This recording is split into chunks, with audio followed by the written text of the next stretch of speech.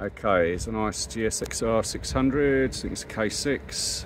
Uh, we sold it a few months ago to a friend of ours who spent quite a lot of money having a custom made exhaust put on it, which you can see there. Um, and put a new rear light with a sort of flickering brake light like on the new modern bikes. Uh, he's probably done about 200 miles on it and we serviced it before he sold it to him. Um, so we've known the bike for quite a while. It's a lovely bike, very nice looking bike, in good condition. Um, it's got the fork protectors there, braided hoses. We haven't cleaned it, but I know Reese kept it in his front room. Got colour coded small levers, bar ends, nice grips. Um, little mark there. Someone being very fussy here.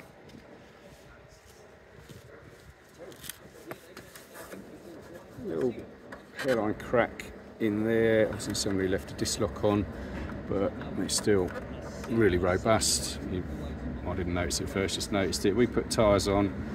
So you see they've still got the knobbles there, so how few miles he's done. Got a headlight protector, black screen. It's done, I think, 23,000 miles. Uh, he also um, put a new rectifier on and repositioned it in the sensible place, um, which should, should always do on these. Um, tiny little mark on the sticker there.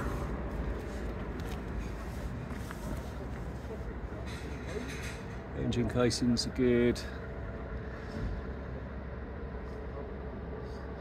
Um, he has got the rear seat because we gave that to him, so he's going to drop that off.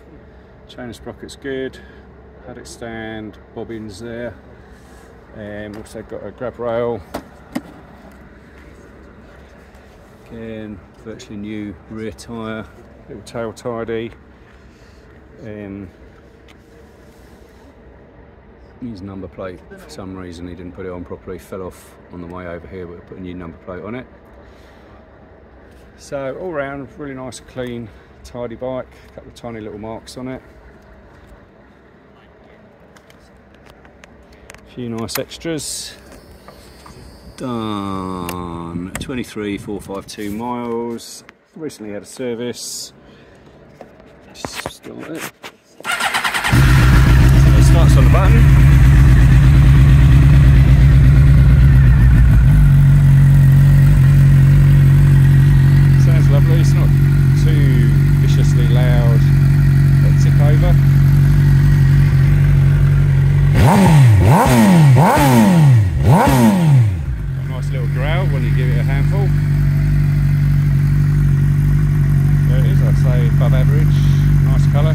Fuck.